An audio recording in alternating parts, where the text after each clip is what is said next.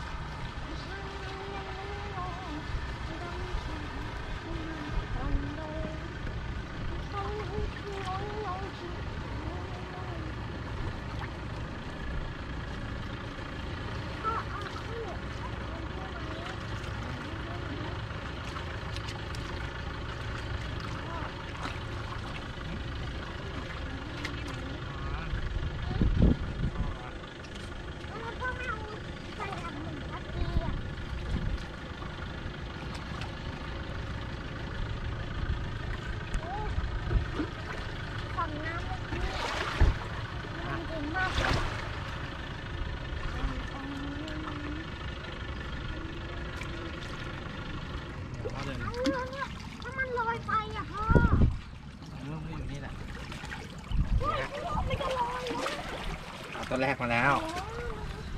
นะฮะอ่าจริง ๆ ทีแรกเรา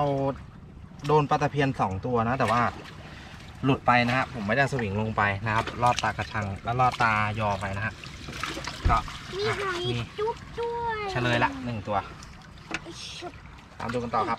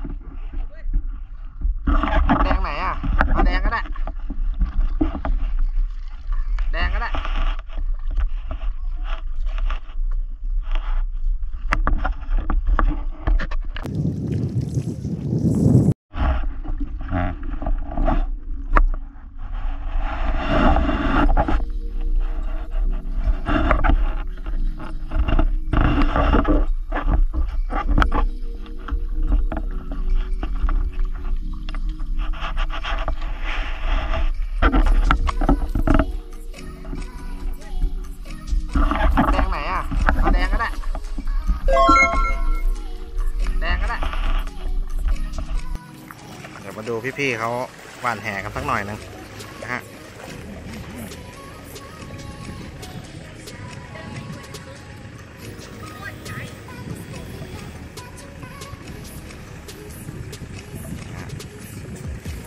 ก็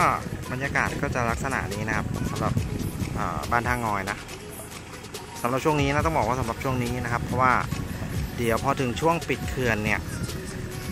อาจจะบางลงกว่านี้นะครับ ไม่ไม่ไม่ได้ว่าไม่สามารถหาได้นะ แต่ว่าแหจะต้องลดเหลือขนาดไม่เกิน 6 ศอก หรือว่า 3 เมตรนะครับ ส่วนยอเนี่ยนะครับ ก็จะต้องลดเหลือขนาด 4 ศอกหรือไม่เกิน 2 เมตรนะฮะอาบรรยากาศก็จะคือคืนลักษณะแบบนี้ ในทุกๆวันนะในราวสะพานบอกว่าราวสะพานเนี่ยแทบไม่มี ที่ให้คนขึ้นแทรกเข้ามาเลยนะโอเคอะเดี๋ยวเราเราบอกว่านี่นะฮะยอผมก็จะอยู่ตรงนี้นะนะครับนี่แหละตอนนี้กล้องโกโปรแบตหมดนะฮะโทรศัพท์ก็ไม่กล้าลงไปถ่ายนะครับก็เดี๋ยวค่อยสรุปผลตอนท้ายคลิปกันอีกทีนะฮะเราก็จะเก็บภาพบรรยากาศไปฝากเรื่อย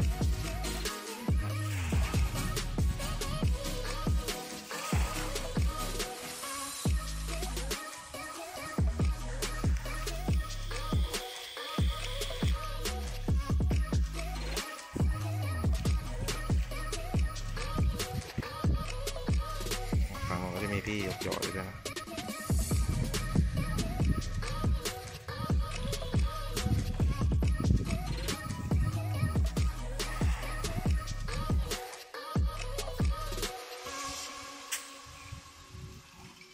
นะฮะนั่นก็จะเป็นกระชังปลาพี่เขานะ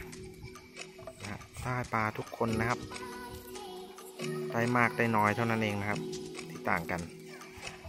แต่ว่าทุกคนได้ปลาทุกคน ลุ้นนะอ่าเงียบโอเค เดี๋ยวเราจะวางโทรศัพท์ละเดี๋ยวเราจะลงไปยกยอต่อนะฮะเดี๋ยวเวลาอีก15นาที20นาทีนะฮะ เราก็จะกลับละ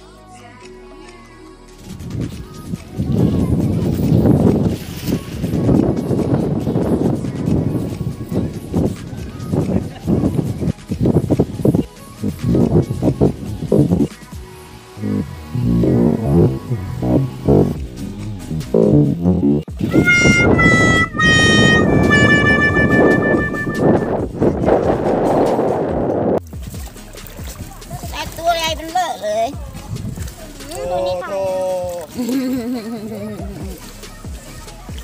หนูว่ามันน่ายังยังไม่ตายนะเนี่ยโอ้โอ้มันยังไม่ตายขาดลุกขาดแบบกูเลยไม่มีไม่มีไม่มีอยู่ในสารระบบแหม่มันจังหอมฉุย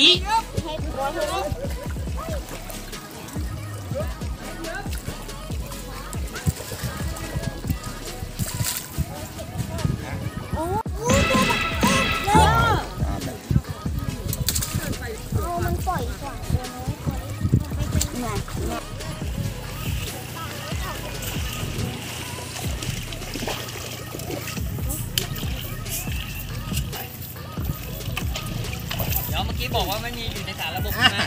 มไม่มีไม่มีอ่านี่มา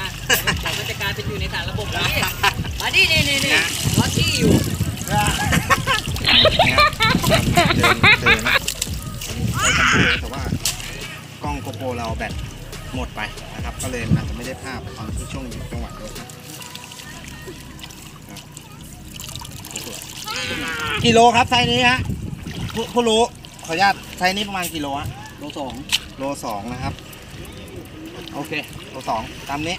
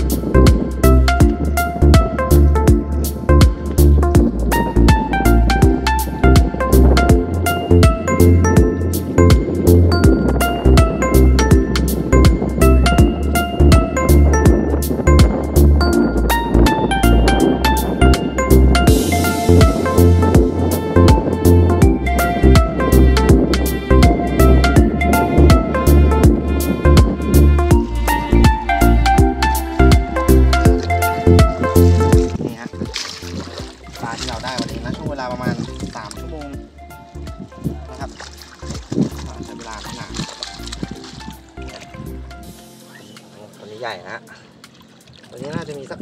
ประมาณโลครึ่งได้นะครับ ฝากกดไลค์กดแชร์กด Subscribe พวกเราด้วยนะครับ เพื่อเป็นกำลังใจในการทำคลิปต่อไปนะคลิปคลิปหน้านะครับ เราจะไปที่ไหนอะไรยังไงเนี่ยกดกระดิ่งไว้นะครับ เพื่อที่จะได้รู้การเคลื่อนไหวของเราว่าเราจะไปทำอะไรกันต่อพบกันใหม่ EP หน้าสำหรับวันนี้ สวัสดีครับ